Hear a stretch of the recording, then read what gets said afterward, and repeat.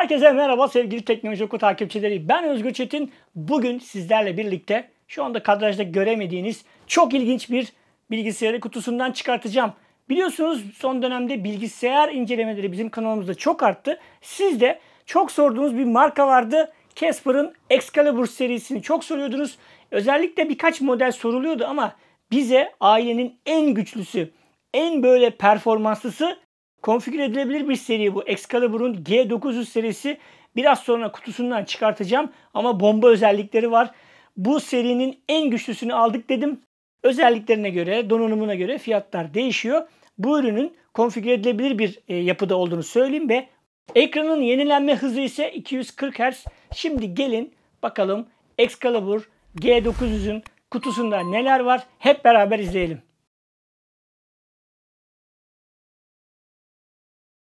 Evet arkadaşlar Casper Excalibur G900 şu anda kutusundan çıkıyor. Ben kutusunu çok beğendim bu arada. Gerçekten de kutuyla bile uğraşmışlar. Bunu bile saklayabileceğiniz bir koleksiyon ürünü olur. Öyle söyleyeyim. Çok böyle şekilli. Hani biliyorsunuz bilgisayar kutuları genelde böyle çok güzel tasarlanmaz ama Casper bu kutuyu çok güzel tasarlamış. Excalibur G9'un kutusu böyle bir de ön tarafını göstereyim. Burası da böyle. 144 Hz, 240 Hz diyor. İki farklı seçenek var. Konfigür edebilir olduğunu söylemiştim ben. Şimdi bunu tekrar şöyle çevirelim. Kutumuzu bu şekilde koyuyoruz ve gördüğünüz gibi etiketli ürünü ilk kez biz açıyoruz arkadaşlar. Açalım bakalım. Evet. Şu anda açtık kutumuzu. 15.6 inçlik Full HD IPS bir ekranı var. Bu bilgisayarımızın arkadaşlar. Ama kutuyu bu tarafa doğru açacağız. O yüzden şöyle çevireyim. Tekrar. Evet. Şöyle. Evet hazır mıyız? Kutuyu açıyoruz şu anda. Şöyle GeForce GTX ve RTX seçeneklerin olduğu da yazıyor kutunun üst kısmında. Şimdi açtık kutuyu. Şöyle bilgisayarımız var burada. Görüyorsunuz. Şöyle bir poşetten çıkıyor. Çıkartalım bakalım poşetimizi. Poşurt diye attım böyle kenara. Şu şeklin güzelliğine bakar mısınız yalnız şuralardaki? Turuncu rengin şu an görülüyor herhalde ekranda diye tahmin ediyorum. Turuncunun çok güzel tonları var. İki tane çizgi böyle dört tane daha doğrusu. ikisi burada ikisi burada. Şöyle bir açalım bakalım. Excalibur yazısını da açtık. Wow. Bu turuncu böyle bakır rengi daha doğrusu tam turuncu değil bu. Tasarım buralarda da var görüyorsunuz.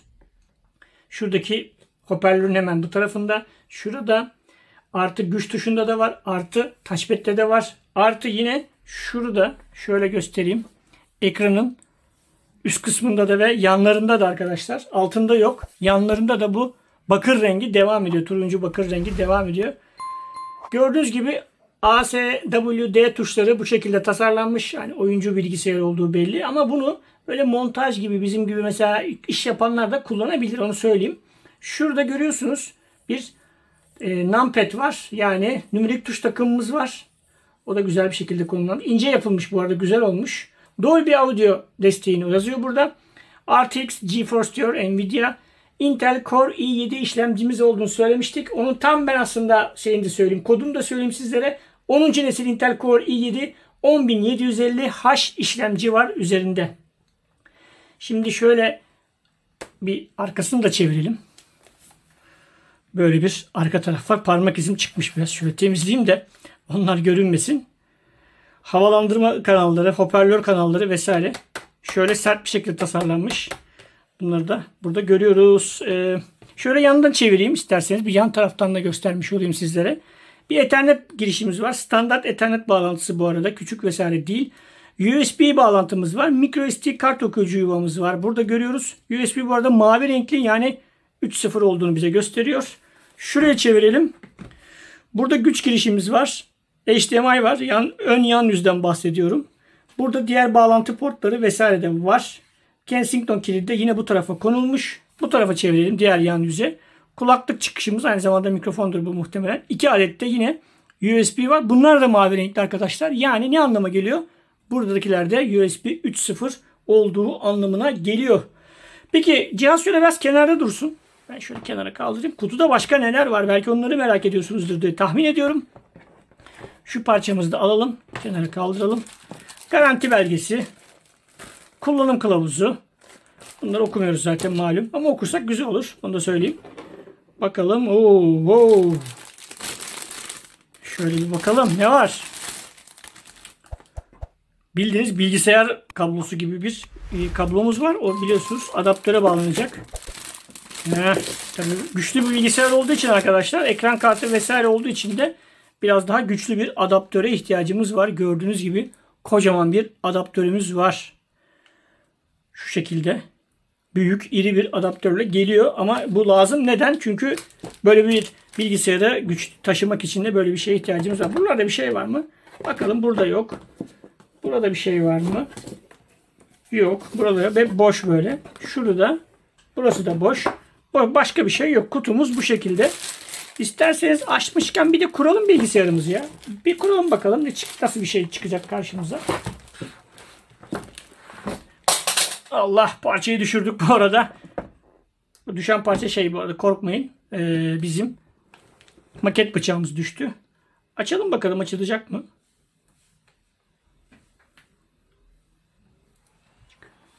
Şöyle biraz daha ekrana göstermeye çalışayım sizler için arkadaşlar. Şöyle yapalım. Evet. Şu an görülüyor diye tahmin ediyorum. Şimdi o biraz beklesin. Ben birazcık teknik özelliklerden konuşmak istiyorum.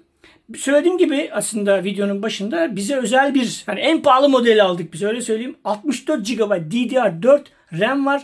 4 TB SATA SSD, 2 TB NVMe SSD, 2 TB yine NVMe SSD olmak üzere 8 TB diskimiz var.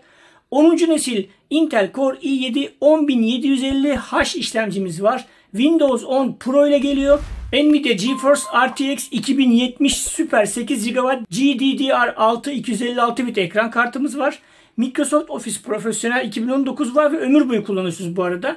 1 megapiksellik bir webcam'imiz var. 2 wattlık bir stereo hoparlörümüz var. RGB ışıklandırmalı klavyemizin olduğunu söyleyelim. 3 tane USB 3.1 var. Tip A'dır bunlar. Bir tane tip C var.